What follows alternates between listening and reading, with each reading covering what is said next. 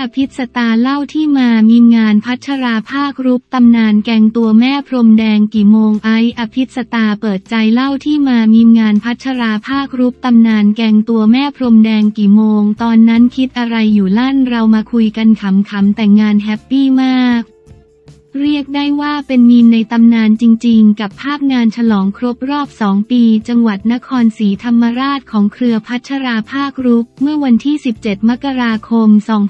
2557 ที่มี 5 สาวซูเปอร์สตาร์ตัวแม่ตัวมัมตัวมารดาของวงการอย่างอั้มพัชราภา เมย์พิชญ์นาฏกระแตศุภักษร เนยโชติกาและไอซ์อภิษฎาซึ่งมีภาพนาทีเดินพรมแดงกับชุดราตรียาว พร้อมเครื่องประดับจัดเต็มกับคนที่มาชมความสวยของเหล่าซูเปอร์สตาร์ตัวแม่นับร้อย งานนี้พรมแดงในตำนานที่ยังคงตราตรึงอยู่ในความทรงจำของทุกคนมาจนถึงทุกวันนี้ ล่าสุดไออภิสดาได้ออกมาเป็นแขกรับเชิญในรายการ สารพัดเพื่อน EP 0.110 ที่นำโดยพิธีกรอย่างปิงปอง ซึ่งมีการเมาส์มอยกับคุณแม่แห่งวงการนางร้ายถึงพัชราภาครุปในตำนาน ความลับนางฟ้าใส่แหวกแบบใดจน Talk of the Town มันก็ว้าวซ่ามาก โดยไอเล่าว่า ก็ได้ค่าตัวเป็นงานอีเวนต์ต่างจังหวัด อมีใครไปบ้างคะ รายชื่อหนึ่งสองสามสี่ตัวแม่ทั้งนั้นงานใหญ่มาก แล้วเขาบอกว่าเป็นงานประจำปีงานใหญ่มาก เราก็แบบไปงานเสร็จเราก็เตรียมเตรียมชุดไปเขาบอกขอพรมแดง เราก็ได้สิ ไปถึงมีห้องให้พัก เขาก็บอกเดี๋ยวคุณไอไปอยู่ห้องนี้นะคะ ห้อง VIP จอดรถก็เป็นบ้าน ก็มีป้ายไม้แขวนว่า VIP 1 VIP 2 อยู่หน้าห้องมันก็คือบ้านคนอักเธอข้างในมีเตียงตู้เสื้อผ้าอย่างน้อย ก็มีห้องส่วนตัวให้ถึงเวลาก็เปลี่ยนชุดรถตู้มา ซึ่งทางงานบอกว่าจะมีน้องผู้ชายพาเดินใส่สูททางไอก็อ๋อเป็นงานพรมแดงจากนั้น ไอก็นั่งรถตู้ไปเขาก็หาสิ่งที่ดีที่สุดให้แล้ว ไอกล่าวต่อว่า พอไปถึงงานก็งานใหญ่เราก็เอ๊ะถึงแล้วเหรอคะ เขาก็บอกคุณไอรอในรถก่อนนะคะ เราจะจอดตรงพรมแดง พอเปิดประตูรถออกมาก็เดินลงเลยนะคะ แต่พอเปิดประตูออกมาพรมแดงที่มีพรมวางอยู่บนดินลูกรัง พรมก็คือไม่มีจัดขอบพรมม้วนปูเลย พอเดินไปถึงที่นั่งเห็นเพื่อนดาราที่มาก่อนแล้ว เราก็ไอหันไปยิ้มให้ ฉันว่าภาพนั้นอาจที่มันเป็นมีน เพราะว่าตอนนั้นมีโชว์อะไรอยู่ แล้วฉันรู้สึกว่า ในหัวคิดว่าอะไรรู้ปะ คิดว่าอีไอเก็บอาการอาการเข้าใจไหมในงาน เราพยายามที่จะจอยแล้วอันนี้เป็นงานเราก็ยิ้มอยู่ ถ้าไม่ได้เห็นภาพนั้นจะไม่รู้เลยว่ายิ้มแต่ตาเป็นงี้ ปิงปองถามต่อว่าอยากรู้ว่าจุดจุดนั้น ในงานบนโต๊ะนั้นคุยอะไรกันไอเผยว่า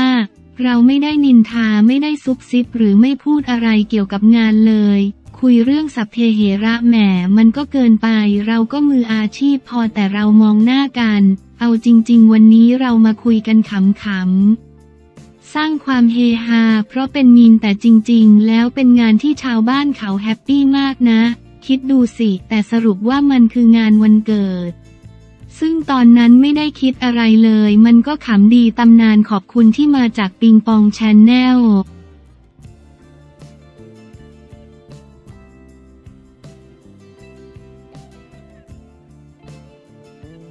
ซึ่งนางเอกดังย้อนรักในอดีตถูกบีบคอทำร้ายร่างกายจนซึมเศร้า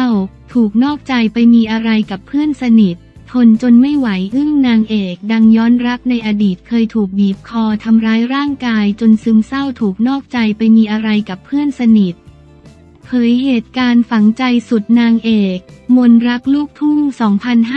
2567คนล่าสุดชาร์ล็อตออสตินที่มาสวมบทในตำนานทองกวาวคู่กับพี่คลาวอย่างมิว ศุภศิษฏ์จงชีวีวัฒน์ล่าสุดชาร์ล็อตออสตินนางเอกสาวและ งามสาวลูกครึ่งไทยอังกฤษ รองอันดับ 5 มิสแกรนด์ไทยแลนด์ 2022 มานั่งเปิดใจกับแพทณปภาในรายการโดนเทเซ่มาที่แพทย้อนเรื่องราวความรักฟังแล้วชวนให้ตกใจเคยถูกแฟนทำร้ายร่างกายนอกใจไปเอาเพื่อนสนิท จนเป็นซึมเศร้าโดยตอนหนึ่งชาร์ล็อตเล่าถึงความรักที่โดนหนักถึงขั้นทำให้เป็นซึมเศร้า ในช่วงสมัยหมู่หกว่าเขาเป็นเด็กใหม่มาเรียนที่โรงเรียนเรา มีรุ่นที่ตามจีบเขาเยอะ เราก็แบบมันจะสักแค่ไหนกันเชียว เลยลองจีบบ้างสรุปเราได้แต่เขาเป็นคนทำให้หนูเป็นซึมเศร้า เพราะภายนอกอาจจะดูดี แต่มีการทำร้ายร่างกายเกิดขึ้น มีคนอื่นไปมีอะไรกับคนอื่นคือเยอะมากคบกันประมาณหนึ่งปีสองเดือน หนูไม่หลับไม่นอนกระวนกระวายระแวงว่าตอนที่ห่างกันเขาจะมีคนอื่นหรือเปล่า เหตุการณ์ฝังใจสุดคือเขาเอาโทรศัพท์ไปแอบแล้วมาบอกว่าโทรศัพท์หายเราเลยบอกจะหายได้ไงก็เพิ่งโทรคุยกันตอนจะมา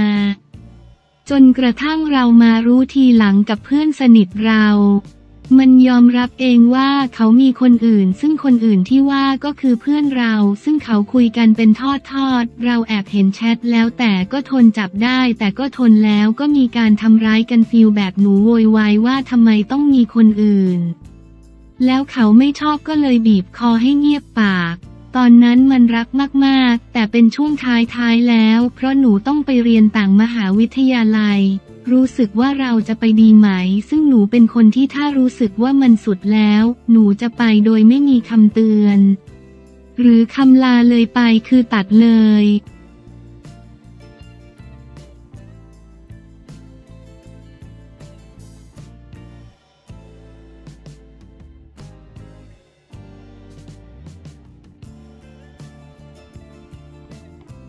จียอนไม่คาดหวังฮั่นขอแต่งแต่กางนิ้วรอแหวนทุกวันจียอนไม่คาดหวังฮั่นขอแต่งกลัวผิดหวัง แต่กางนิ้วรอแหวนทุกวันฝ่ายชายยังดูไม่มีทีท่าจะทำเซอร์ไพรส์ทำเอาแฟนๆลุ้นกันเนื้อเต้น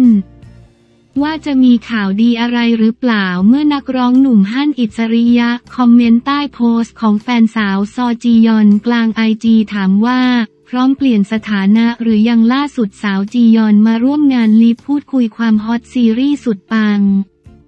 เด็กฝึกหน้าใสเติมหัวใจนายหญิง Intern in My Heart ณอาคารทีวันจึงได้เปิดใจว่าเตรียมตัวจะเป็นเจ้าสาวหรือยัง วันเกิดฮั่นที่ผ่านมาหวานมากเลยเป็นยังไงบ้างเรียบง่ายไม่มีอะไรตื่นมาก็บอกเขาว่า happy birthday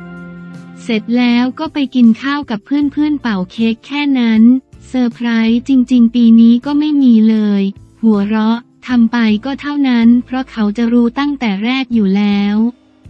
เราเป็นคนที่เซอร์ไพรส์ไม่เก่งอยู่แล้ว หน้ากับตาก็จะออกเป็นคนเลิ่กลั่กง่ายทำทีไรโดนจับได้ก็ตรงตรงๆไปเลยอยากได้อะไรก็ไปซื้อด้วยกันปีนี้ได้อยู่กับเพื่อนมากขึ้นก็ได้ความอบอุ่น และปีนี้พิเศษหน่อย เพราะว่าคุณแม่มาจากเกาหลีด้วยก็เลยอยู่ด้วยกัน หลายคนก็ไปกรี๊ดกับคอมเมนต์พี่ฮั่นที่เข้ามาคอมเมนต์ว่าพร้อมที่จะเปลี่ยน status ไหม พูดไปอย่างนั้นแหละค่ะ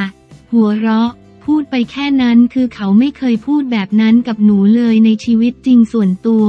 แล้วตอนแรกไม่รู้ว่าเขาคอมเมนต์แบบนั้นด้วย รู้ตัวอีกทีหนึ่งก็เห็นมีข่าวหนูตกใจว่ามีเขียนแบบนี้ด้วยเหรอ ก็เลยกลับไปดูก็เลยมีจริง ๆ ด้วย พออ่านในใจหนูก็แบบอืม แม้ได้ถามเขาไหมว่าเขาชวนเปลี่ยนสเตตัสจริง ๆ ไหม หนูไม่ได้ถามเขาแล้วก็ไม่อยากถามหนูกลัวเสียใจ ทำเสียงสั่นบวกหัวเราะ ก็คือถ้าเขาพร้อมมาก็รอตอนนั้น ไม่ได้คาดหวังใด ๆ แสดงว่าเขาส่งสัญญาณมาเราก็พร้อมแล้ว ถ้าเขาขอจริง ๆ แต่เขาไม่เคยส่งสัญญาณเลยค่ะ เราเตรียมพร้อมเลยไหม สวยทุกวัน มันก็ยากอยู่ หัวเราะ ก็รอดูต่อไป ตัวเราพร้อมกับการสร้างครอบครัวมากขนาดไหน คือหนูไม่รู้ว่าการพร้อมมีสามี มันไม่รู้ว่าต้องอยู่ที่ไหนที่จะพูดได้ว่านี่คือพร้อมแล้ว หนูก็ยังไม่ค่อยแน่ใจแต่ว่ารอมานาน หัวเราะ รอมาสักพักแล้ว ปีนี้ก็หกปีกว่าแล้วค่ะ ก็รอมาสักพักหนึ่งก็ไม่มีแวว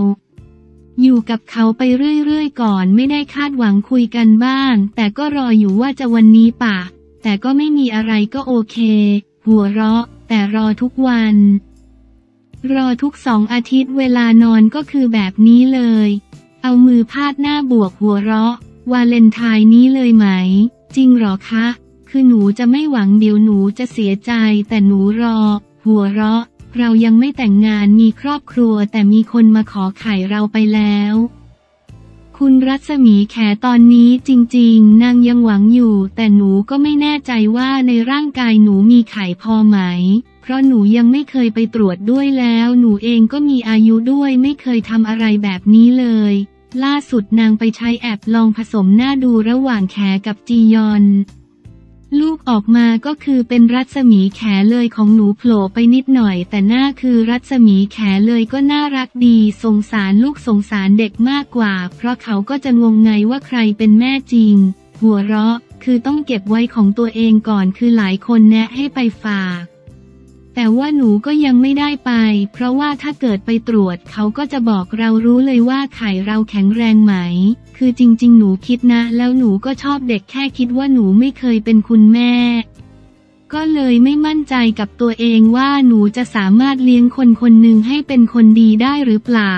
ส่วนตัวพี่ฮั่นถามว่าจริง ๆ อยากมีไหมก็อยากมี แต่ว่ารู้สึกว่าตอนนี้มันหลายสิ่งหลายอย่าง ทั้งสังคมด้วยเราก็เลยต้องคิดหนัก